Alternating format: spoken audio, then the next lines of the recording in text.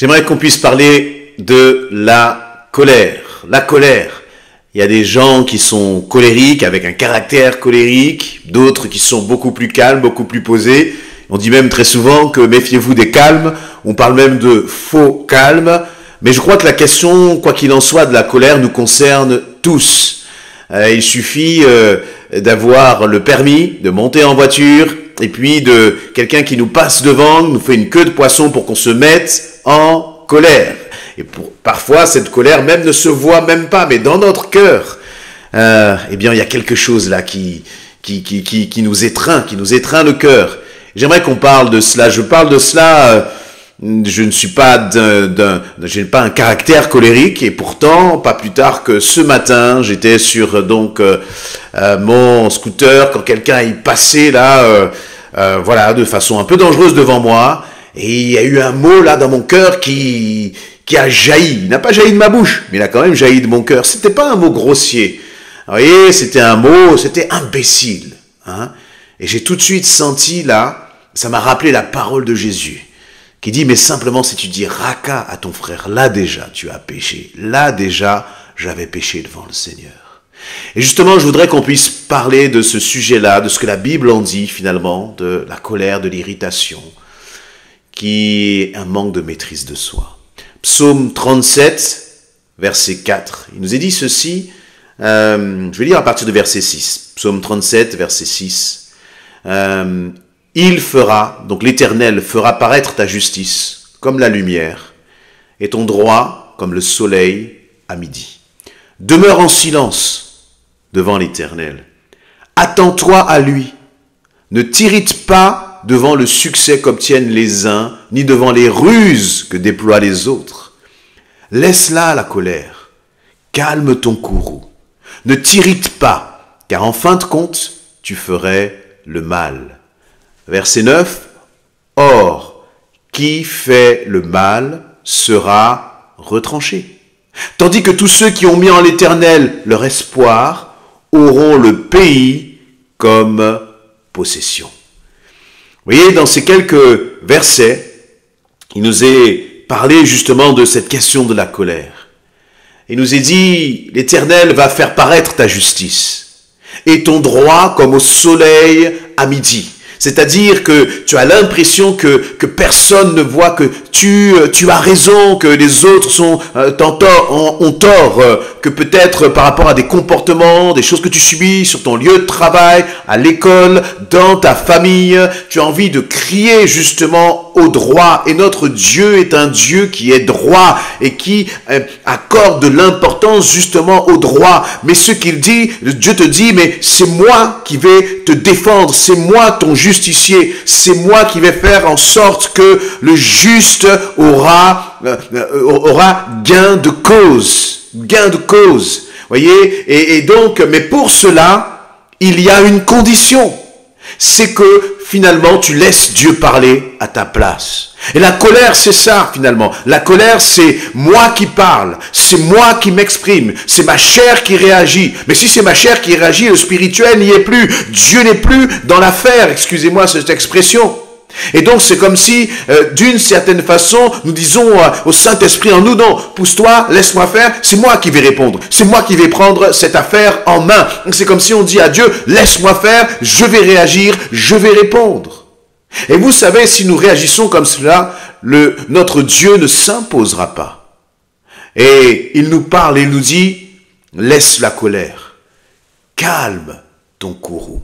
Vous voyez, ce qui est intéressant, c'est que Dieu ne dit pas que ce n'est pas normal, que, ta colère là, elle n'est pas juste. Non. Euh, il y a des moments, Dieu lui-même, on parle de la sainte colère, Dieu lui-même se met en colère.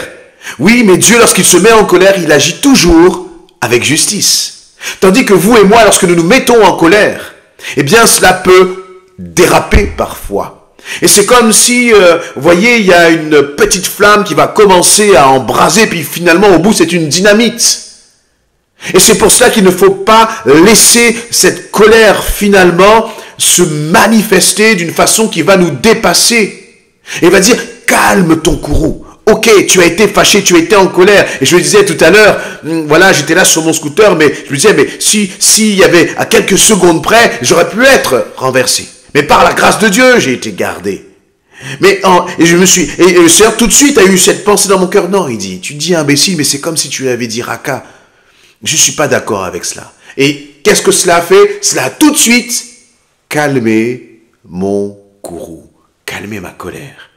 Et donc, euh, il y a eu ce, ce, sentiment-là dans mon cœur, mais après le Saint-Esprit a parlé. Et le Saint-Esprit m'a parlé et j'ai obéi. Parce que le Saint-Esprit peut me dire, euh, non, calme-toi. Et moi, je peux dire, non, c'est pas juste, c'est pas normal. Il a mal agi, il aurait pu me tuer, et ceci, et cela, et en rajouter, et en rajouter encore. Et finalement, nourrir ce courroux, nourrir cette colère. Dis-moi, ton attitude, tes réactions, est-ce que tu arrives à pardonner? Est-ce que tu euh, sais faire taire finalement ces pensées qui sont dans ton cœur et qui, qui sèment comme une sorte de vinaigre, vous voyez, comme un fiel amer dans ton cœur. Est-ce que tu cultives cela? Parfois, ça peut durer même des années. Là, je suis sur un exemple qui est anecdotique, mais parfois ça peut durer des années. Une colère, une de l'amertume et de l'irritation, du courroux qui nourrissent ton cœur. Verset 8, il va dire, laisse-la la colère, calme ton courroux, ne t'irrite pas, car en fin de compte, tu ferais le mal. Et vous voyez, Dieu dans son amour, voilà pourquoi il ne veut pas que nous laissions, nous laissions aller à notre colère. Parce que Dieu dit, je te connais mon enfant. Si tu te mets en colère, tu vas faire le mal. Et si tu fais le mal, eh bien le mal que tu vas commettre t'éloigne de moi au final. Tu veux avoir gain de cause, mais à quel prix? Tu veux avoir raison, mais à quel prix? Tu veux que ta faute soit reconnue, mais à quel prix si tu le fais par tes propres moyens? Et là, juste avant ce verset 8, l'Éternel va dire, demeure en silence devant l'Éternel. Pourquoi demeurer en silence? Parce que là, si tu parles, tu sais que tu vas dire des choses qui ne n'honorent pas Dieu. Alors, c'est pas euh, comme si tu vas te dire, ben, je vais dire des choses, mais je sais que ce que je vais dire va être maîtrisé, je vais me... Non, c'est dit, tais-toi. Demeure en silence. Attends-toi à lui, attends-toi à l'éternel. Et je crois que c'est parfois ce qui nous manque. Tu es en colère, tu te tais. Tu te tais, mais ça remue à l'intérieur. C'est normal, c'est naturel.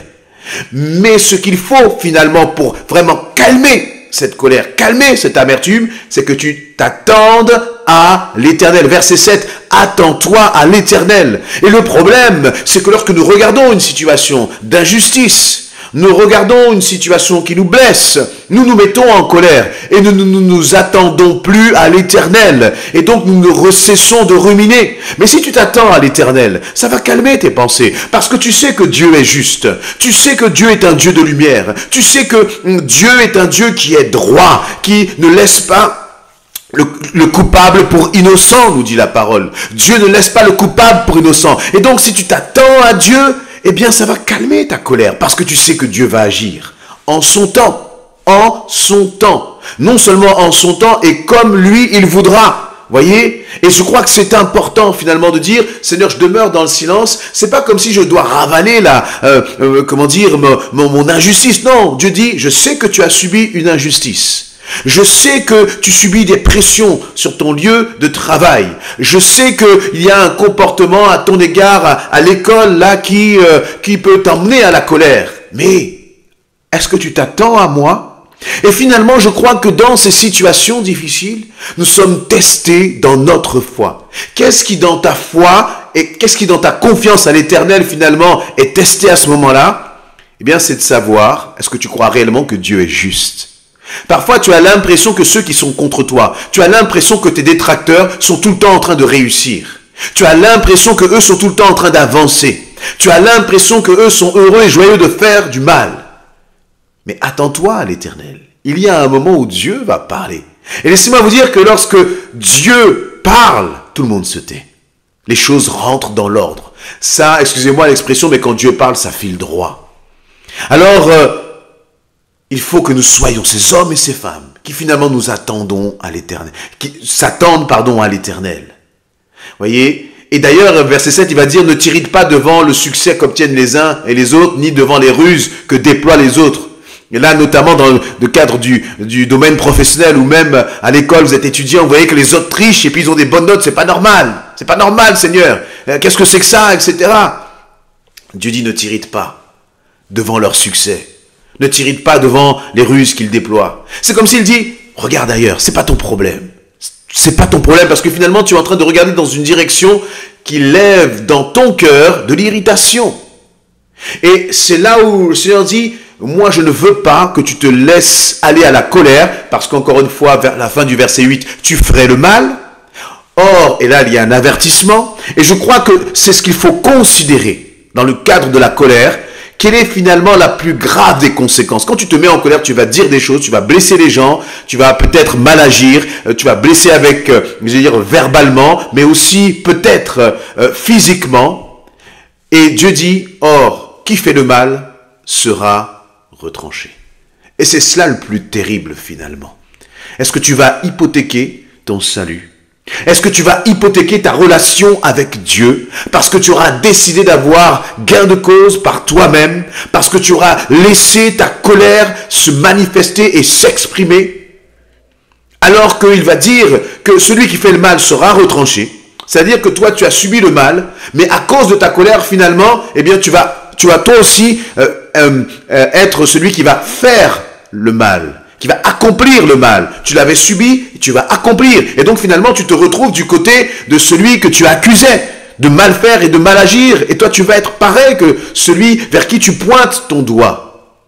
Et dit donc, celui qui fait le mal sera retranché. Par contre, tandis que tous ceux qui ont mis en l'éternel leur espoir auront le pays comme possession. Et j'aime cette image. Dieu dit que finalement, vous voyez, c'est un peu comme euh, une terre brûlée. Si quand tu, laisses, tu te laisses aller à la colère, tu brûles et tu détruis tout ce qui est autour de toi, tout ce que tu as de plus cher. Mais par contre, si tu décides de laisser ta colère, de calmer ton courroux, de t'attendre à l'éternel, de refuser de t'irriter, eh bien, à ce moment-là, eh bien, tu, tu seras comme celui qui a mis son espoir en l'éternel. Et la conséquence, c'est que lorsque tu mets ton espoir en l'éternel, lorsque tu commences à déclarer, Seigneur, je te fais confiance, parce que toi, tu es un Dieu juste. Je sais, Seigneur éternel, mon Dieu, que tu prends soin de ma cause, que tu défends ma cause. Tu sais ce qui arrive, mon frère, ma soeur, mon ami? Eh bien, dans ce cas-là, tu auras le pays comme possession. C'est-à-dire que c'est l'image de, finalement, de la bénédiction qui va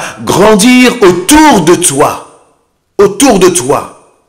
Et je nous invite vraiment à prendre autorité sur la colère, à faire taire la colère.